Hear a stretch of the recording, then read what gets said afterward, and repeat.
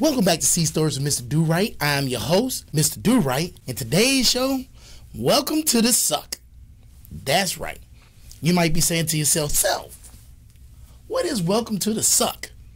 Stop talking to yourself. I'll tell you everything. Don't worry about it. There's no test. Maybe.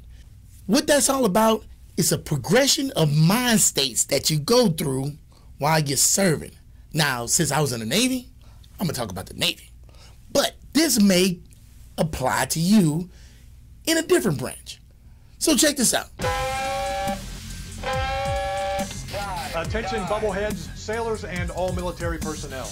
Enjoy truish, lighthearted, and funny adventures from life at sea, told by Mr. Durite himself. So pack your sea bags and rig a ship or dive. It's time for another sea story with Mr. Durite. I think they're ready for you. Take it away, Mr. Durite. Visit DuriteProduction.com, follow the Facebook page, and subscribe to our channel, shipmates. When you're in boot camp, you cannot wait to go to school. Because when you in boot camp, you are E nothing. You are a recruit, and hell, the only time you feel like vindicated and and like you part of the Navy is when they put the Navy ball cap on your head. And that's at the end after you finish um what is it called? Battle station. So, you know, the whole time you you feel what's the word? What's the best way to describe it? Like nothing. And you can't wait to get out there and you want to get to the fleet because that's what they call it. You hear hear that all the time. Man, when you get to the fleet, when you get to the fleet, when you get to the fleet, then everything's gonna be different. And so you're like, man, I can't wait to go to the fleet. But you ain't going straight to the fleet, especially if you already signed a job. If you get out of boot camp, if you get out of boot camp, you're gonna go to some kind of school. Most of the time, everybody say, man, I can't wait to go to school, man. Everything's gonna be better once I go to school, man. It's gonna be great once I go to school. Once you get to school, you're not necessarily in class. Usually, you're waiting class up. That means you're sitting around somewhere mustering, cleaning up something until they got a, a uh, your class starts up.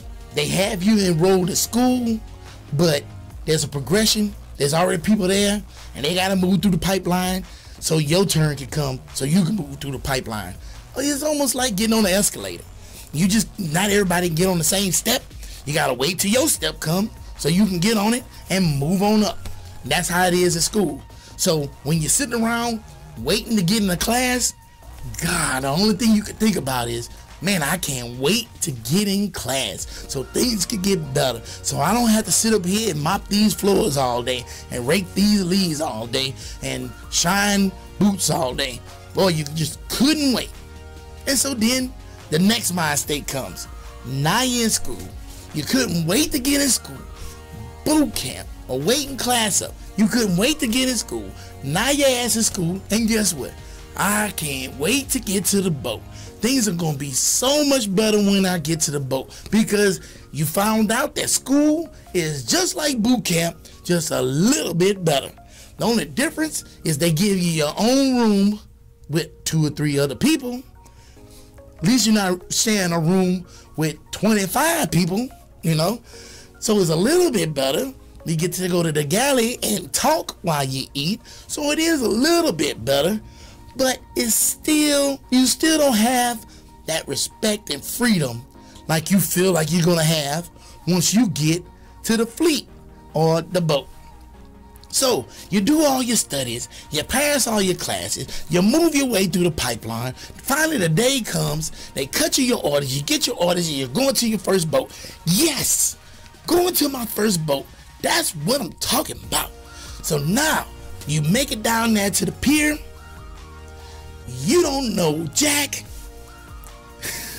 you get on that boat and your mind is blown. Wow, I'm on the boat. Ow, I'm on the boat. Ow. Everybody look at me cause I'm sailing. I'm on the boat. I can't believe this. I finally made it. And it only takes you, I don't know, you good for the first week. And then you really start seeing how things go. And you find out that they don't treat you as peachy keen as you thought they was gonna treat you because your ass just came from school. You still a noob. You still a nub. And you're gonna be a nub for a while. So now you on the boat, and it's gonna take you, I don't know. It takes it's gonna take you a year to qualify to get your your your pin, your dolphins and stuff. And I'm talking about submarines, whatever, whatever your situation is. That's what you had to do. Usually takes about a year, and during that year, you you trying to show people who you are. You trying to build that up that respect and everything, and it's it's a hard, arduous road, boy. You see that in a lot of awards. And if you military, you know that word.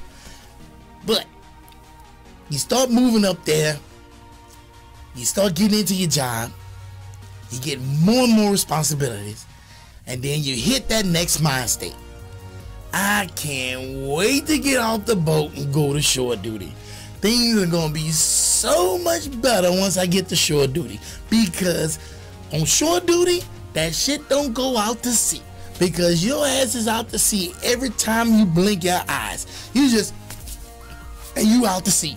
Boom, they just drop you in the middle of the ocean. You out there all the time. And if you ain't out to sea, you in port fixing stuff constantly because everything broke while you was out to sea. So now you in port trying to fix everything, waiting on the UPS man, bringing the part so you can fix this thing because it's been down since y'all y'all came back and, and moored against the pier. Now it's fixed. It's like, man, finally it's fixed. Now I can get me a break.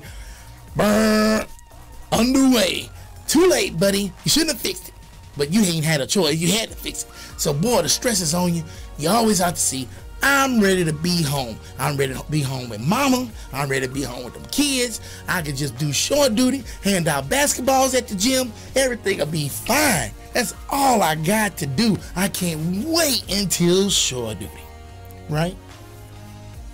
So then, you finally get off the boat. Your last underway. And then they, they separate you from the boat. And the day they separate you from the boat, they pulling out to sea. All right, fellas, y'all take all. Y'all have a good time. Y'all y'all been trained well. Y'all know what to do. Fight the good fight because I'm out of here. Pace. And you head off to your shore duty. You get to shore duty. You see what you're going to be doing. There's no basketballs. There's no gym. They ain't gonna put you some shitty job in some shitty shop on shitty shore. But man, it's not out to sea. It can't be worse than the boat. There's no way it can be worse than the boat. And then after about, mm, I don't know, a week, you find out that yes, it can be as shitty as the boat. Because it's funny. To me, I think it's funny. And I might be making this up. If you don't agree with what I'm about to tell you, leave a comment, say you full of shit. If you agree with me, leave a like on the video. But once you, it seems like all the shitty people that was on the boat, you know, the ones that just made your life a living hell, you know, those guys, the ones that took credit for all the work you did, you know, cause like you didn't do nothing, they did everything, but their clothes was never dirty. Nobody ever racked them out and stuff. Or the ones that just just shit on you all the time, just made it a business, shit on you all the time, or the the ones that talk crazy to you all the time, you know, those people seem to go to shore duty a whole lot. And then you go to shore duty and you go to the command where all them people at. Oh my goodness. I didn't think it could be worse than the boat, but yes it can. So now you on shore duty you doing your job. And it's like, man, well, at least I go home every night, sleep in my own bed. It ain't no big deal. I ain't sitting up here standing watch. I ain't got to do all of this. I can, I can just swallow that crap and make it. I can do it. Then you get a month in, two months in, realize you got to be there for three years, and then you hit that next mind state. You ready for this? I can't wait to get the hell out of the military. I can't wait to get out of the Navy. Oh my goodness, what the hell did I do? And you know what? I don't know. I don't know everybody, but a lot of people from the day they go to boot camp, they don't necessarily regret the decision that they made, but they can't wait till it's over with but then you got so much time ahead of you. It's almost like you have to you got to treat it like you're in prison. Because when you're in prison, you can't think about the time. You just got to do it. You don't think about a whole bunch of other stuff. You just do it. Well, once you get in the military and you figure it out, holy shit, I'm in this joker for a long time. I just got to do it. And that's what you do. You get to that short duty and you're like, oh, well, I ain't got but a couple of years of this. I'm just to swallow this shit up and I'm just to do it. And you drudge through it. You drudge through it. You get there. You listen to the crap. Somebody always chewing you out. All that stuff. But one day, your your what is it? The EOS? Is that what it's called? I'm not sure that's what it's called. MOS? PQT? Uh, anyway, the day you're gonna get out the military is finally come. Yes, I can't wait. My day is finally here. Screw you guys. You, I'm out of here. You, you, you, you cool. I got your number. I'll text you and stuff. And you, I'm out of here. So they give you your papers, you get your uh, DD-214 and everything, you go to PSD, you flip them off, and you walk out the door and you free. Free. Freedom. I am a civilian again. Now mind you, when you were a civilian, things were so shitty that it made you want to go into the military. And now your ass is happy that you're a civilian again. Oh my goodness. So you go find a job, you move or whatever you need to do, you get to your job, and it's like, is this it? This is all we're gonna do? You gotta be kidding me. And the first thing you say, you hit that next mind state, the final one. Man, I sure missed the Navy.